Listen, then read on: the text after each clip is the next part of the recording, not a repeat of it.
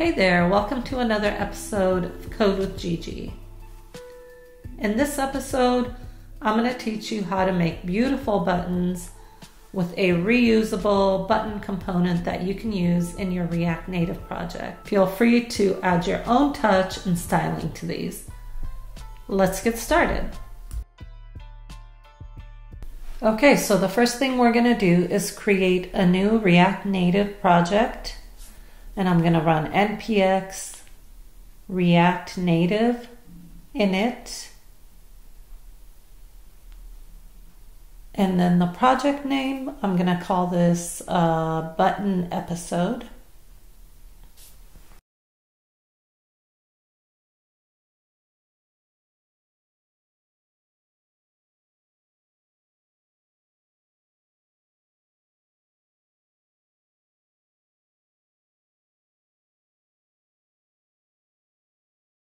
Okay, now that that's done, I'm going to cd into my project directory and then I'm going to install uh, React Native Vector Icons.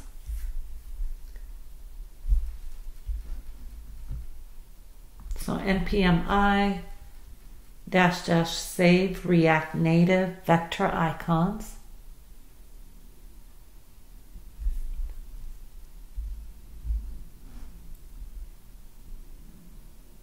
All right, now that that's done, I'm going to cd into iOS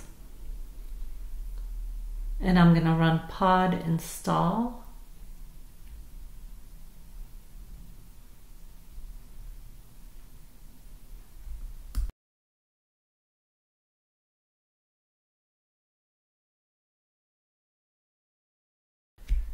All right, I'm going to go ahead and open the file browser to my project directory. And in this directory, mine is called button episode. I'm going to go into iOS. I'm going to right click on this file here with the extension XC workspace. And then I'm going to open this with Xcode.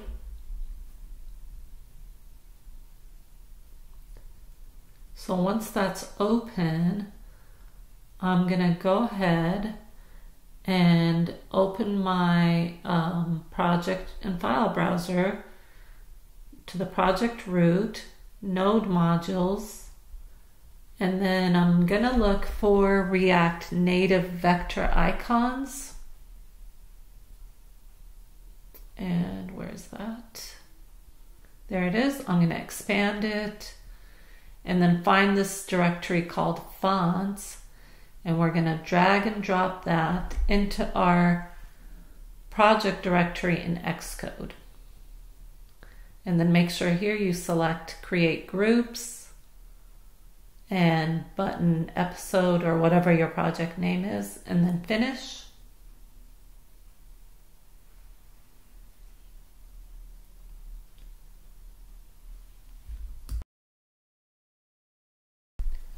Okay, now that that's done, I'm going to go into the targets and then build phases.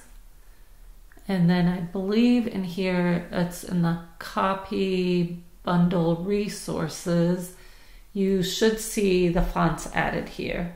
So let's go ahead and expand this. And there we go, our fonts are copied here. We've added the fonts. There's one more thing we need to do. We need to update our info.plist file, which is in our project directory here. So not not this. Uh, where is it? Right here, button episode. I'm going to go ahead and expand that.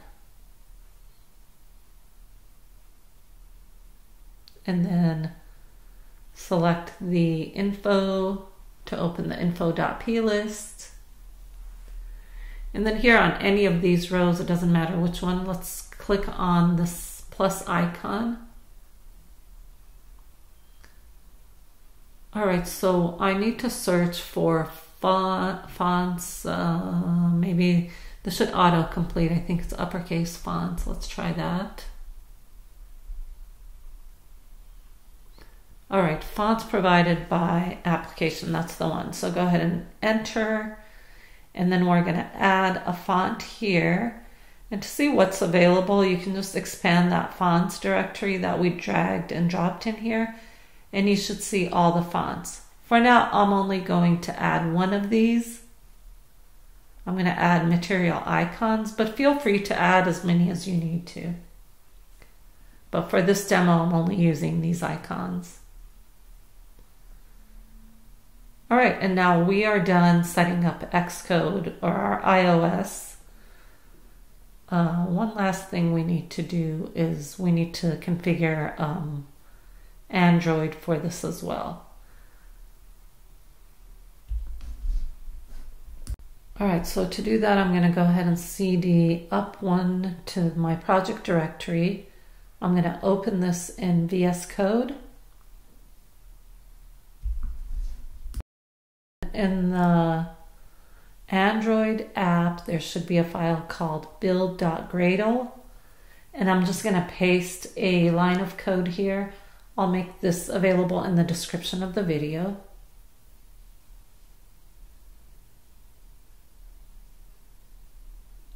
And that's all we need to do for Android. So we're done with that. Let's go ahead and run our app. So to do that, I'm going to run npx react native start. It's within the terminal, of course. And then that starts the metro. And then I'm going to open a new tab and run npx react native run ios and to open a tab in terminal it's just command t okay now that we have our app running what i'm to do first i'm to clean up this app.tsx file and just remove all this uh, extra demo code that we're not to be using Instead, we're to use this to display our buttons. So let's go ahead and clean all of this up. So I'm to delete all of this here.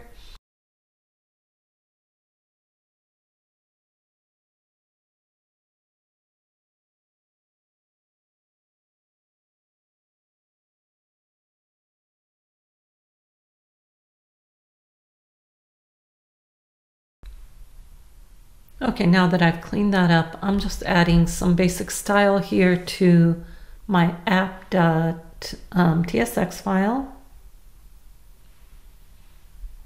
I'm just going to add a section title for the buttons here. And then I'm going to go ahead and center this.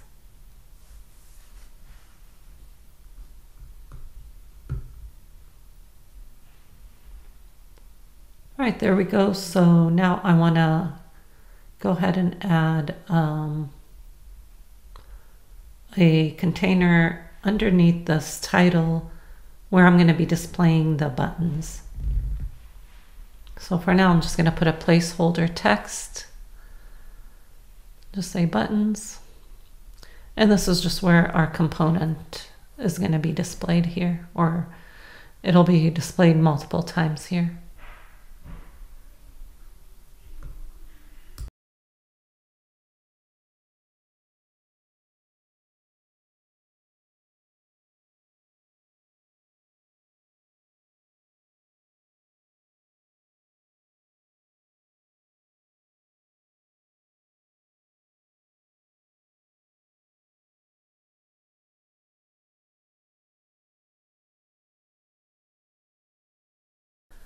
All right, we're going to go ahead and create a new folder in our root directory called source.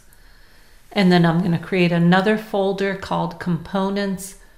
And that's going to be in the source directory. And the new file called mybutton.js. And this is going to be our button component that we're going to reuse.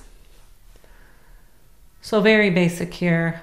I'm just going to create a basic component that's going to return uh, some text for now.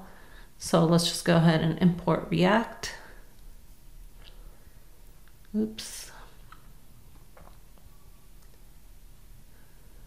From React.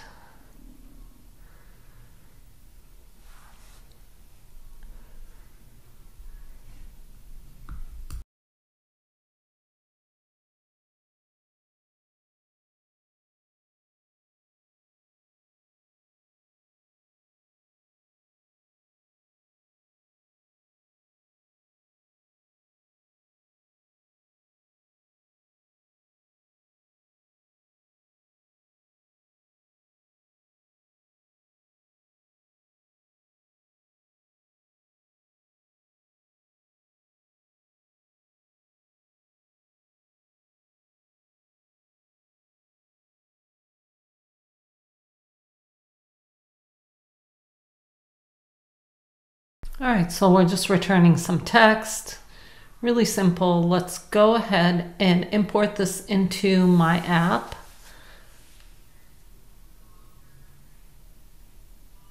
I'm going to go ahead and enlarge this a little bit so you can see the code. All right, so let's import my button.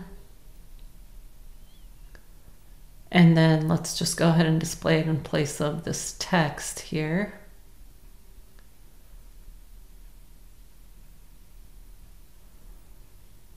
All right, so it's displaying here in our app. So now let's go through and see uh, what we can pass in here. The first thing I want to add is a property called title or label, sorry. We'll call this label. And this will basically be the label of the button. So instead of hard coding some text here, we're going to pass this in. That should definitely be passed in through the props. Uh, let's go ahead and spell that correctly here. All right, uh, let's go back to our app and go ahead and set that or pass that prop in and set it to, uh, we'll just call this maybe uh, default button. All right, there we go. Let's get rid of this here. All right, there we go. Now we've got a default button displayed here in our container, but of course there's no style. Doesn't even look like a button yet. So let's go ahead and add some things here so we can start um, making these buttons look like actual buttons. So I'm gonna add another button here and I'm gonna call it rounded. So back to our button component, let's think about other properties we can add here that we could pass in for our button. So let's color, set a color for the label.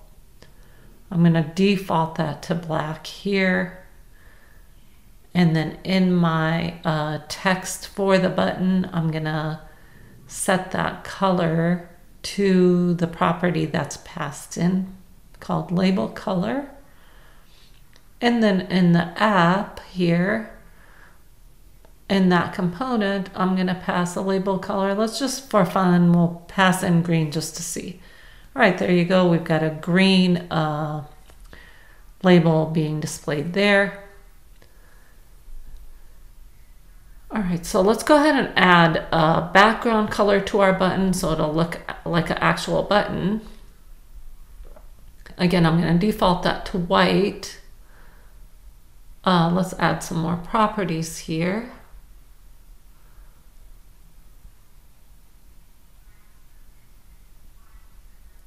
Now I'm going to add the border color.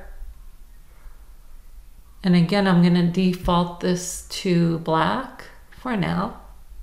And we're going to go through and demonstrate how we can set these and customize these in a minute. Um, so before we go any further, let's pull up an image of the buttons we want to create. So here are the buttons. So let's see what other properties we would probably need to um, style these buttons. So our default button has a label, a border, and some background color, and it has some, it's rounded. So let's add, um, we've got background color and border color. I'm going to add a rounded property, and this is going to be a Boolean. So I'm going to default this to true because our default button is rounded here. And you can default this to whatever you want to do for your own buttons. But for this demo, I'm going to default to rounded. All right, and then uh, we do need an on press handler, so you'll be passing in a function to handle the presses of the button. And then um, let's add a raised property. Again, this is going to be do, uh, Boolean and I'm going to default this one to false. That's basically for that shadow effect You see these buttons right here, they have kind of a raised with a shadow behind them. And then you've got these flat buttons here. So we'll use that to apply the shadows here like we have in these buttons. Let's also add the ability to add icons. You see these icons? We've got one that's before and then we've got one that's after the button label. So we'll just set a start icon for the one that's before the label and an end icon. And I'm not going to default these because if they're not passed in, then they won't be displayed. All right, so let's go and start adding some of these styles to our buttons.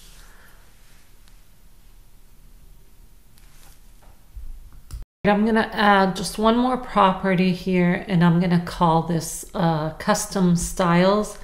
That way if there's anything left that we couldn't, we forgot to apply here or that we can pass in as a specific prop explicitly, we can pass it through the custom styles. All right, so let's go ahead and start adding some styles to our button here.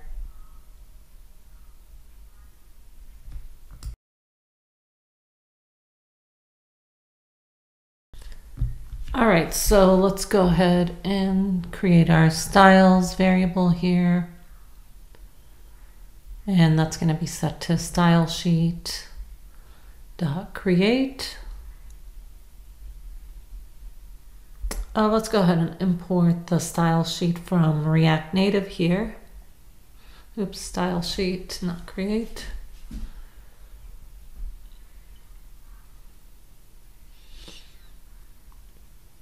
Right, first thing I'm gonna style is the button itself. So let's go ahead and set a height for our button. I'm gonna set that to 50. And then I wanna set, um,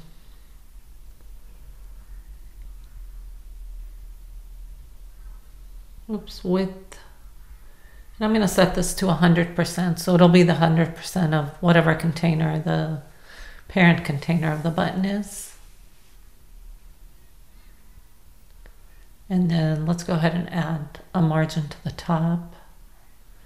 Just Some kind of a default to give it some space between whatever um, comes before it. And then let's add a border radius, just a default radius here. I'm going to set this to 10 for now.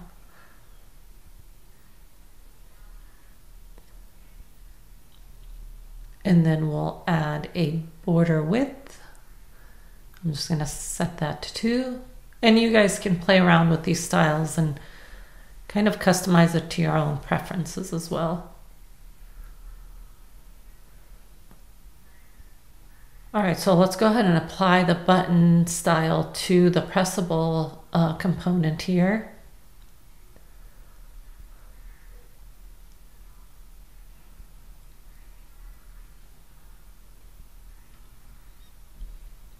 See how that looks in our app.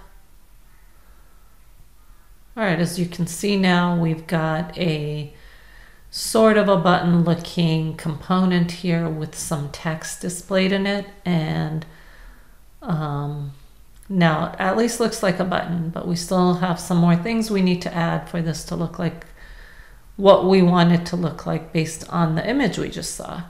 So I'm gonna add a rounded style here and this is going to be set to a little bit higher radius than we have for the button up there. So this is going to be a border radius of, let's just set that to 30 for now.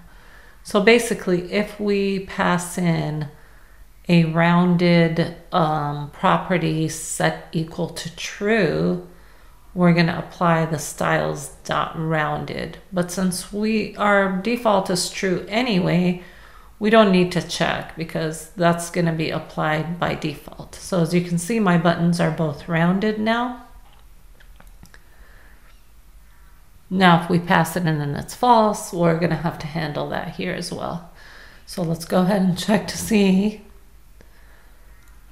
So if that is set to true, then we're going to apply the style. If not, we're not going to apply that style.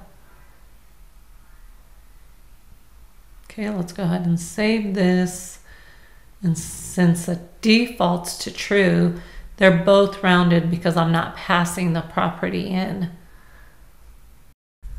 All right, now I'm gonna create a view container and wrap the button text in this container so that I can uh, display everything that's inside this container and center it and align it properly. So that would that would include for us our button label. So we're going to call this a button container.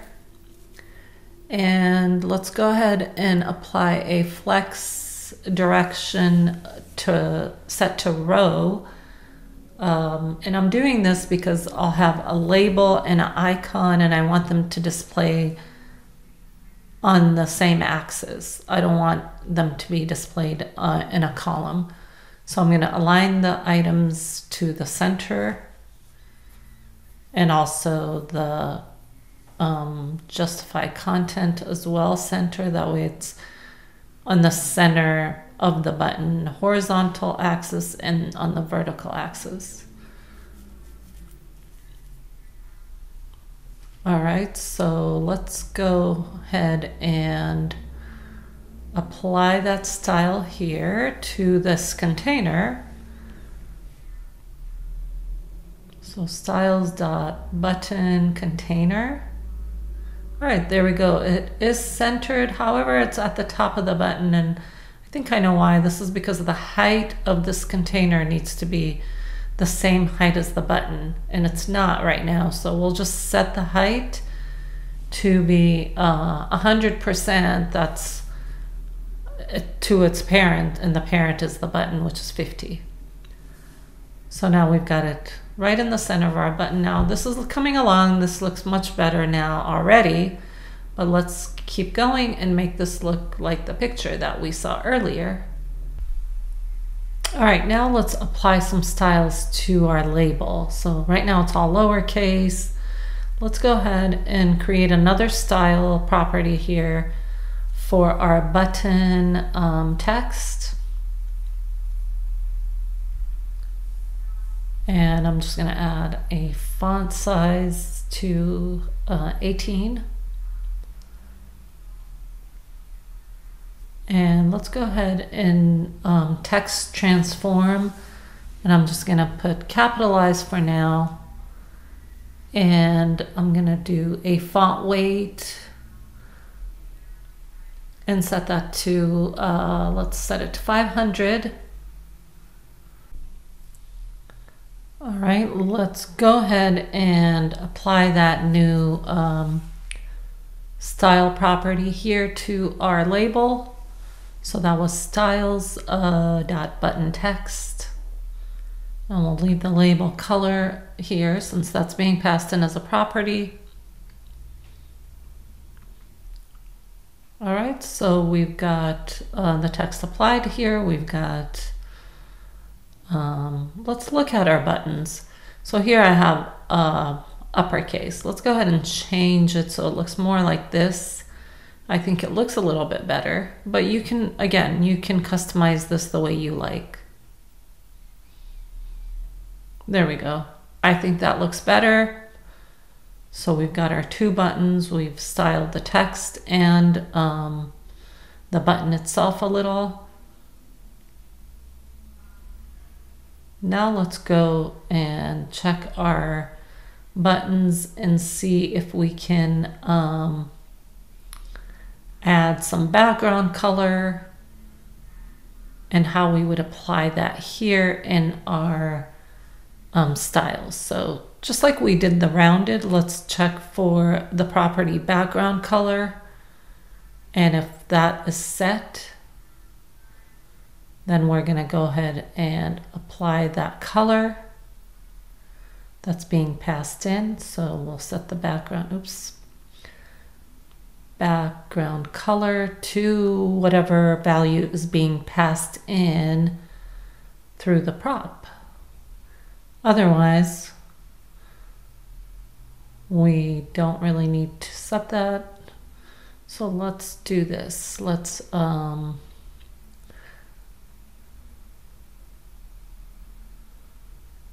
go ahead and actually set the default here to white.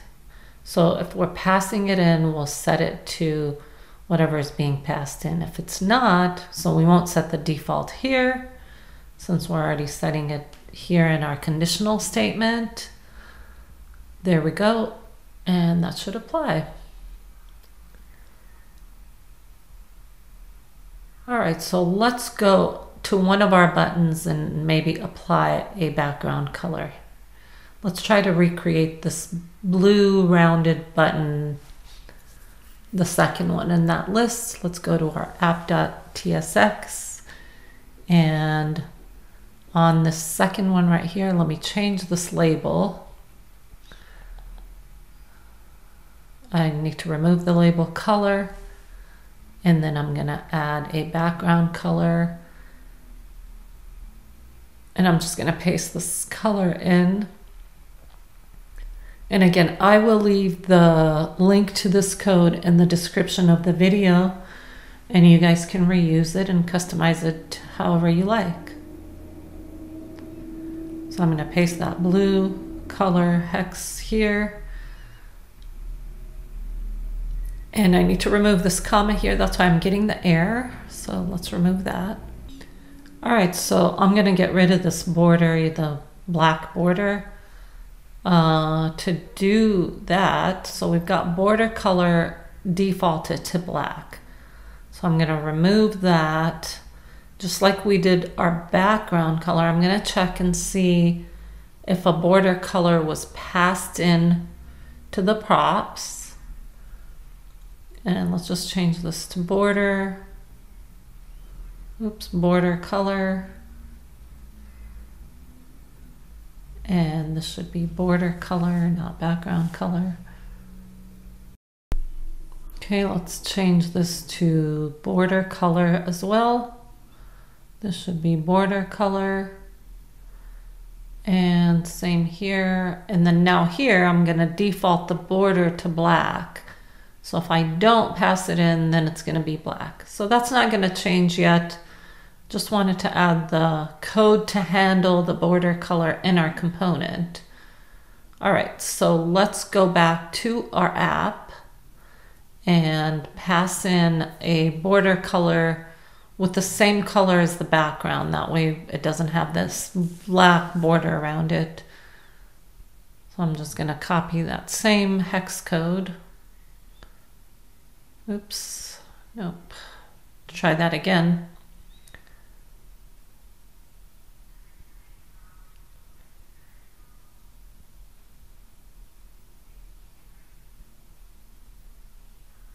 All right, so there we go. Now we have our button looks just like our demo, no border. It's got the nice blue rounded flat button.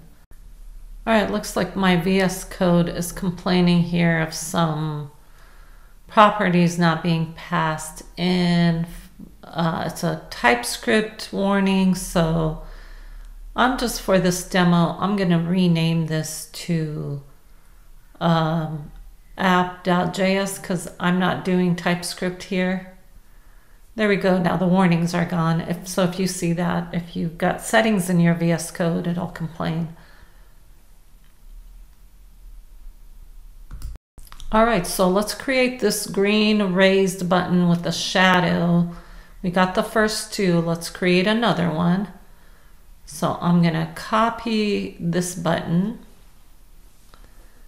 Let's paste that. And this isn't a rounded button, so let me just change this to not rounded. This is just a label so you guys can see, of course, you're gonna pass in whatever values you need for your actual buttons.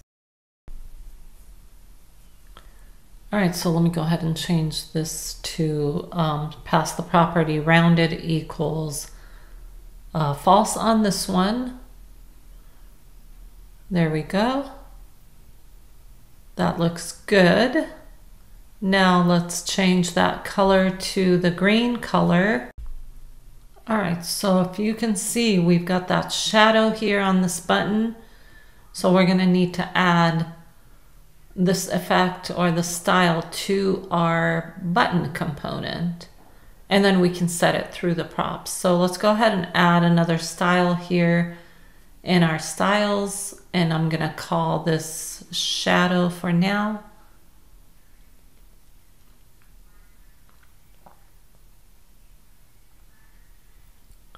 And let's go ahead and add a shadow color. I'm just gonna set this to black and a shadow uh, offset. And we just need to set a width and a height on this. So I'm gonna add a width of three and a height of four or two is good for now. Of course, you can play around with these values and see what looks good to you. And then I'm gonna add a shadow opacity and I'm gonna just set this to a one. Okay, now let's set a shadow radius. And I'm gonna set that to three. And I'm gonna set elevation. You don't need this for iOS, but you will need to set this for that um, raised effect or the shadow in uh, on Android. All right, now that this is set, let's go ahead and apply the shadow to our not rounded shadow button.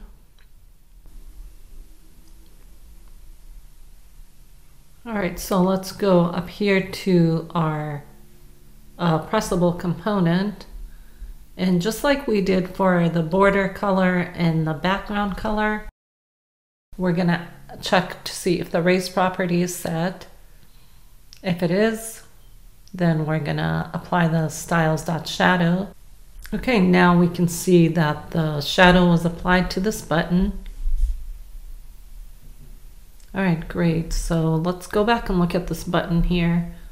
Uh, we're gonna go ahead and set that color. So Let's go back to our button here in our app.js and I'm to set the button color to the screen.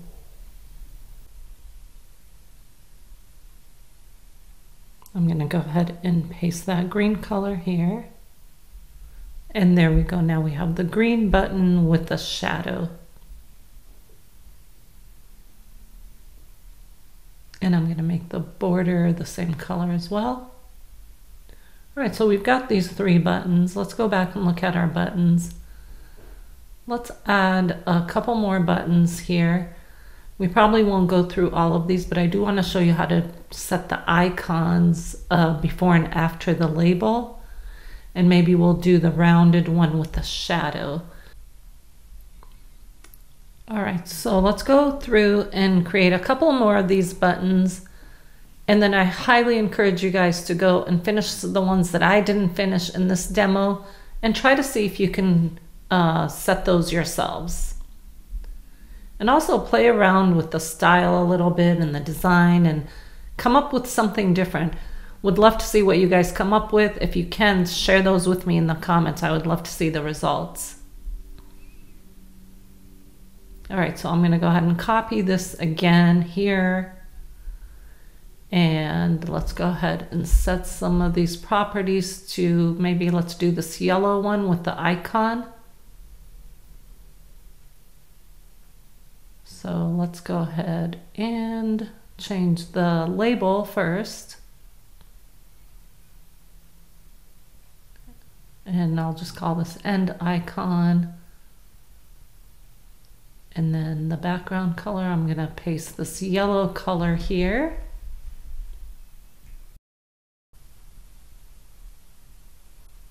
I'm going to remove the border because I want the default black border. And I'm to remove rounded, so because that was set to false. I'm also to remove the shadow. And now we have the button that looks just like the one in the uh, screenshot we have here. Let's go ahead and see how we would add an icon either to the end of the label or to the beginning of the label, before or after the label, basically. So we're just going to call it start and end icon. Uh, so to do that, oh, let me clean out this since this is not TypeScript. I'm going to go ahead and import icon from material UI icons. I'm going to use that lock icon from material. So let's go in here and say import icon from React Native, vector icons, and we're gonna get the material icons. And you can use any icons, of course. All right, so I'm gonna set the end icon and I'm just gonna pass the icon component directly into this component because we can do this. And I'm going to pass the lock icon and I'm going to set the size just for now. I'm going to set it to 12. You can also set a color, whatever you want to pass in. However you want to style this can be set right here. All right, so it's not displaying yet um, because we need to apply it in the component. Actually, I have a warning here. Let's see, what is this warning? Failed prop type, invalid prop name. Okay, I see. It's uh, the icon button. I misspelled that. That should be lock. So let me change that.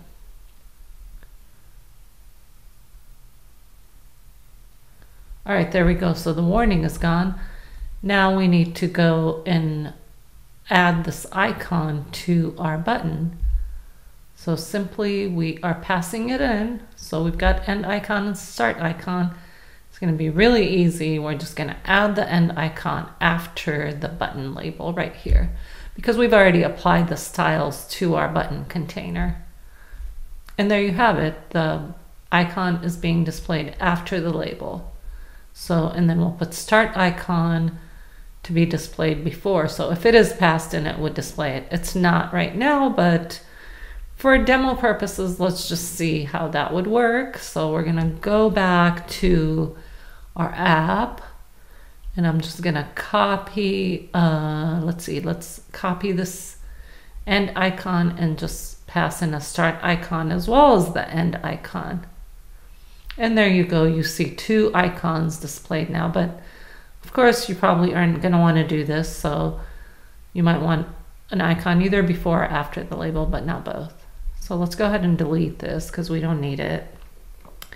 And I'm going to change this uh, icon size to 18 because 12 looks a little bit too small to me. And of course, like I said, you can pass in a color, but this is the full component. So all the styling for your icon is going to go in here. We won't handle that in the button itself.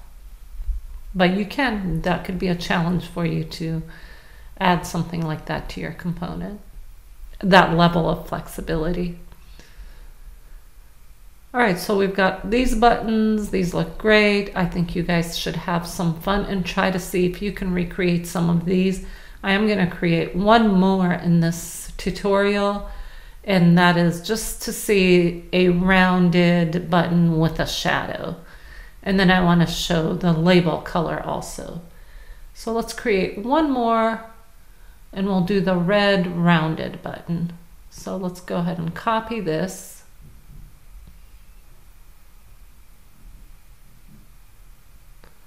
All right, so this button is the one we want. I'm gonna grab this red hex color.